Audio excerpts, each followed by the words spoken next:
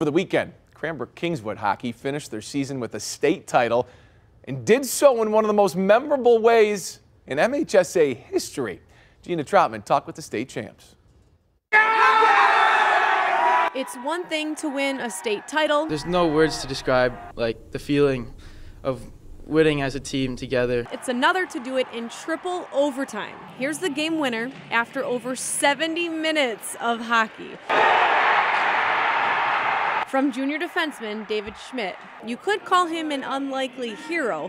Prior to the state tournament, he only had one goal and four assists in 28 games. But in the biggest moment, Like when it went in, I didn't really comprehend like what that meant and it meant winning a state title. and it gets better. Junior goaltender Garrett Dudlar only joined the team just before the new year.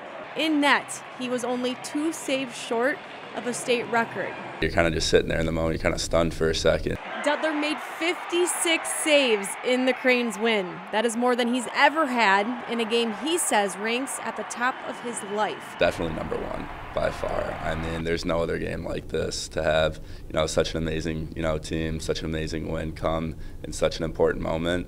So even though it took three overtimes to get it done, that win marks their 19th state title. That's an MHSAA state record. But what's most impressive, the Cranes had to win back to back games against two of the state's best teams. And in a year, the team was sort of off the championship radar. They were unranked and 11 13 and 1 in the regular season. Shows that, you know, we're relentless, you know, we never stop, we never stop fighting. This was the best part. None of them cared who got the glory, who got the who got the game winner, who got the you know.